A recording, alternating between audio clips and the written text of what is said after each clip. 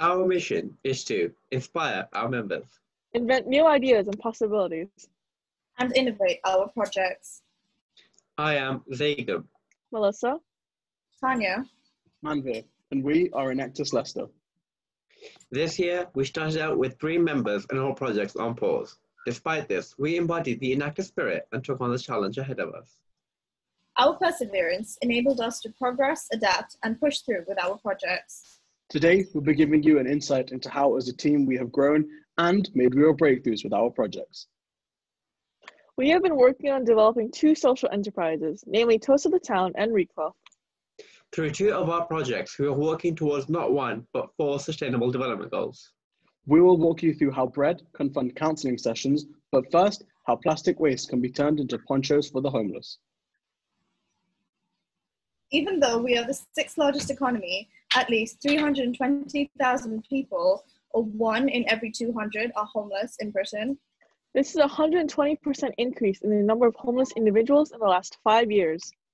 Did you know that 91% of plastic ever produced has never been recycled? Each year, over 8 million tons of plastic waste ends up in the ocean. To put that into perspective, over 180 tons will end up in the ocean over the course of this presentation. In response to these shocking statistics, we launched Recloth last year. We aim to utilize polyester made from recycled plastic bottles to produce outdoor wear for homeless individuals and rough sleepers. From our research, we discovered the complicated process of turning plastic bottles into a fabric has a heavy cost, deciding to source the material instead. To discern our beneficiary specific needs, we established a relationship with The Bridge, a homeless charity based in Leicester.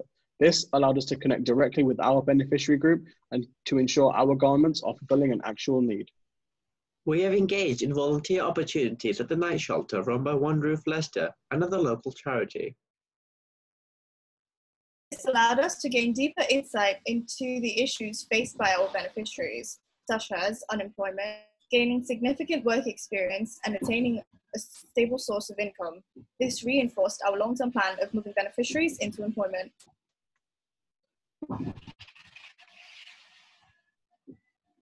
We believe that social enterprise has no boundaries, so we reached out to the De Montfort University Fashion Department and pitched our initiative. They were immediately on board with the idea and incorporated our project into their curriculum as an optional module. Their second year students designed nine transformative garments for us. Currently, we are working to incorporate functional aspects of those innovative designs into five prototypes that are planned to be completed by May. After which the prototypes will be distributed to five identified beneficiaries with the help of the bridge over a period of two weeks for their feedback. We will be running training sessions with our beneficiaries delivered by fashion students and professionals on a volunteering basis to create profitable garments. We aim to deliver our first batch of garments to beneficiaries by December 2020. We are currently in talks with a local charity, the Cynthia Trust, about renting a space for training, workshops, and equipment. However, due to the current situation, we are aware that our timeline may not go as planned. Our entrepreneurial vision for Recloth is to deploy a buy one, donate one scheme. This allows the project to be self sustainable without relying on external funding. This allows us to spread awareness about our project whilst establishing sales channels for our long term goal of empowering beneficiaries to make and sell garments. We have been in contact with our students' union regarding stocking and selling at the university shop. The products we plan to sell will be tailored to attract a suitable market. While we won't be reducing the number of garments purchased, our aim is to encourage consumers to purchase responsibly produced garments. In doing so, they would be contributing to the reduction of plastic waste, aiding our initiative and raising awareness about homelessness in Leicester. Six months. It wasn't long before we realized that our small food waste project, turning surplus bread into beer, has developed into so much more than we could ever imagined. In 2016, we started as a social project, employing people to process the bread before altering our focus to a more commercial model. Now we have evolved into a social enterprise as we believe this is the key to a positive future.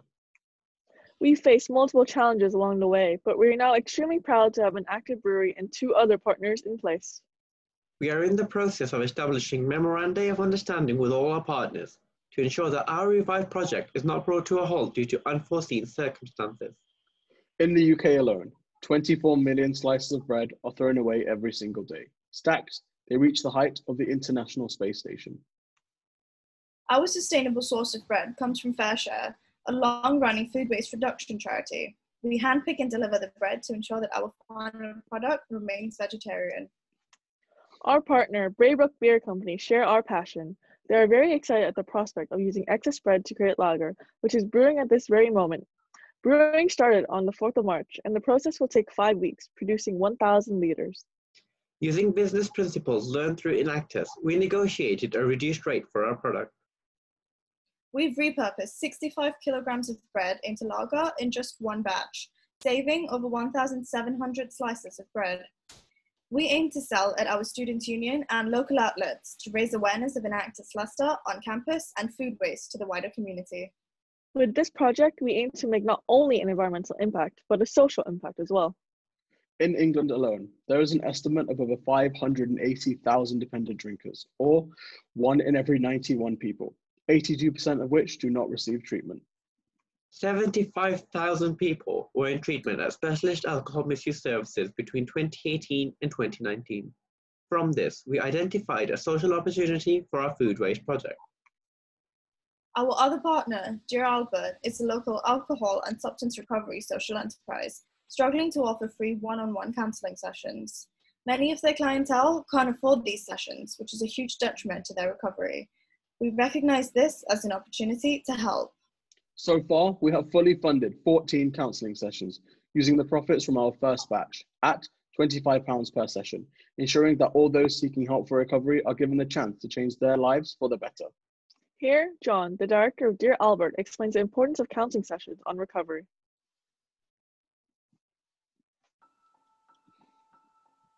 Well, counselling sessions, one to one opportunities are really um, they're a vital component of someone's recovery journey. And um, I think with austerity, and particularly with our uh, the Dear Albert model, it's very based on um, working with peers. It's based on lived experience. It's based on mutual aid, and it's based a lot of the time within the group environment, where we can be mirrors for each other.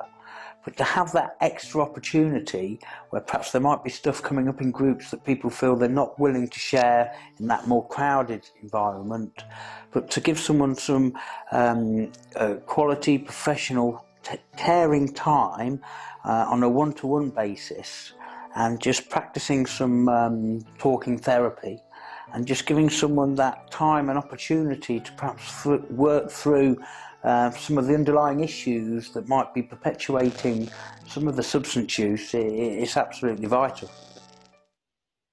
We believe that innovation is key and that the best results are achieved when working as a team. Some of you may be aware that psychology students don't get many opportunities at bachelor levels.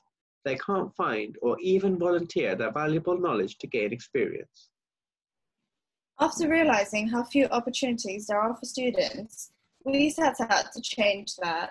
Now, we work with the University of Leicester Career Development Services and Dear Albert to offer students a chance to volunteer and provide support sessions. This was well received by students as we had over 50 attendees at a seminar hosted to explain this opportunity. Of course, we don't just offer to anyone. We restrict process from applications to interviews. This will drive the cost of one session down to £10, meaning we're able to offer more sessions to a wider audience providing six goal-orientated sessions that will allow our beneficiaries to choose how often these sessions occur whilst working towards predetermined goals. In response to the current situation, we took the initiative to put our program online. Through online conferencing, we will be hosting interviews next week before students enter training. Our first round of support sessions will be delivered by our initial group of successful applicants, consisting of three students, each taking up on up to nine, three clients, impacting up to nine beneficiaries. Through this, we ensure that our beneficiaries will still have the support they need from the comfort of their own homes. This allows students to apply their education and gain clinical experience. These support sessions will be free through these applications, meaning we are able to offer more in-person support sessions at a later date. Dear Albert's total footfall in the last year was 3,689 with only 179 service users having attended one-to-one counseling sessions. We will increase the number of student volunteers on our program by three every semester, increasing Dear Albert's capacity by up to 603% by the time of the fourth round of applications in September 2021. Paragon. The name we chose for our product, it incorporates all of our aspirations. To communicate our passion, our project, and our partners' stories, we created a label that reflects this, raising awareness of safe drinking, encouraging everyone to enjoy responsibly. While turning bread into lager is not a new process, the idea of our proceeds aiding the recovery journeys of our beneficiaries was an opportunity we could not pass on. We are aware that this initiative will not end alcoholism, but we hope that with every Paragon bottle sold, we fulfill our missions to promote safe drinking, To turn excess bread into lager. To provide free counselling sessions, and to help students apply their education. giving everything an opportunity to fulfill its purpose to the maximum. Ensuring this comes full circle every time. but we won't stop there. We're planning exploring further beyond bread. Because we don't believe in stopping. Working towards these four sustainable development goals has given us the drive to pursue more solutions for more of the goals in the future. Developing our project has created numerous possibilities for us all. Given the right opportunity, we believe people can achieve great things. This year, our small team has invested over 4,000 volunteer hours. Generated over £1,500 in revenue. Helped five beneficiaries gain access to free counseling. And are working towards implementing change for a sustainable future. At Enactus Leicester, we believe in inspiring, innovating, and inventing for all. Thank you.